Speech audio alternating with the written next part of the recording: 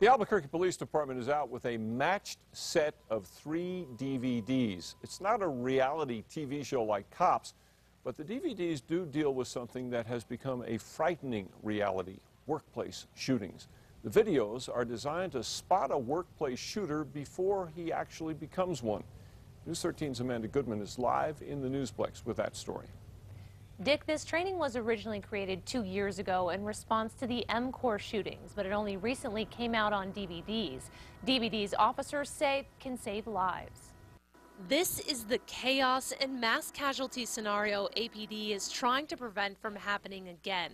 On July 12, 2010, Robert Reza went on a shooting rampage at Emcore. The former Emcore worker was after his ex-girlfriend.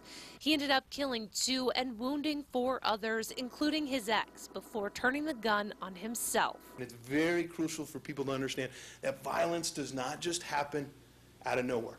It happens in context. That is what the officers and psychologists in this safe workplace training video are trying to drive home to employers and their workers. There are always warning signs, there are always indicators, there are always pre-signs that it's going to take place. The training DVDs teach businesses how to spot the warning signs, whether it be an ex-lover like in the case of Emcore or a disgruntled employee who's made threats in the past. The key, the officers say, is to pay attention to that inner voice if you feel something isn't right and then take it seriously. Recognize that people practice their behaviors, so don't laugh it off. Oh, that's just John being John.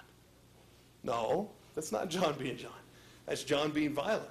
The next step is to tell someone about the threat, either a coworker, manager, or police, whether you think it has merit or not. That way, it can be addressed before it escalates. I'd rather tell somebody and be wrong than not tell somebody and be right and regret it later. Now, the DVDs also show businesses what to do if they are faced with a workplace shooter. Dick, back to you. Okay, Amanda, the DVDs are available free to any local business that wants them. APD has already received requests from other states for those presentations.